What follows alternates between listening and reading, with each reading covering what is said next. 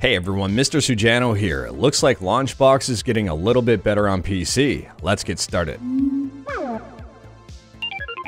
Alright, to kick things off, Launchbox is an amazing emulation front end. If you have a bunch of different ROMs for a bunch of different systems and I guess a bunch of different emulators on your PC, Launchbox can help make everything pretty simple and straightforward and look good in the process.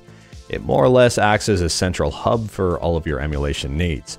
I've done a few tutorials on Launchbox and I'll leave them in the description below, feel free to check them out. Launchbox just got an update, the beta version anyway, with a few performance improvements. So Launchbox has just released the beta for version 12.8, and they say here it's a big one.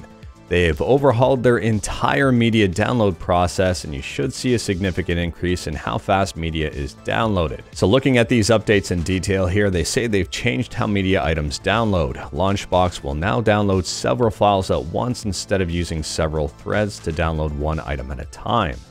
This results in significantly faster downloads. Title text on the image view can now be toggled via the Show Hide View menu.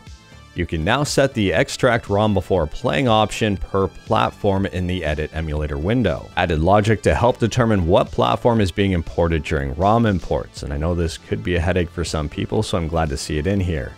Uh, Launchbox will automatically add the platform you're importing to the emulator you select during import if it isn't already there. In addition to that, they fixed a bunch of stuff here. If you want to go over each and every individual item, I will leave a link to this post in the description below and feel free to check it out.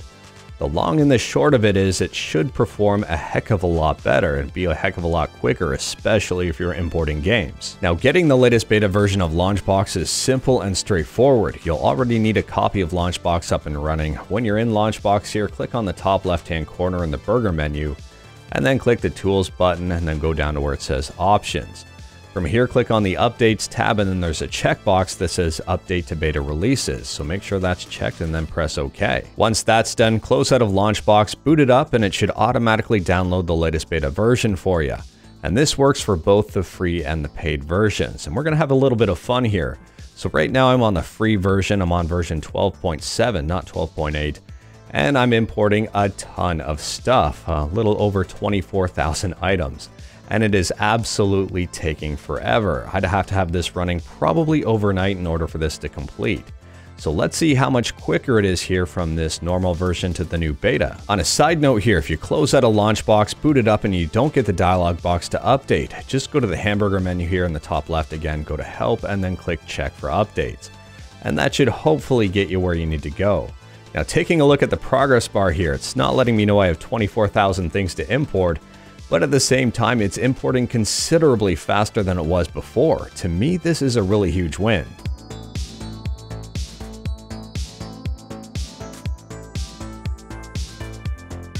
At the end of the day here, I'm happy to see these improvements for Launchbox on PC, and I'm hoping to see some improvements for Launchbox on Android in the near future.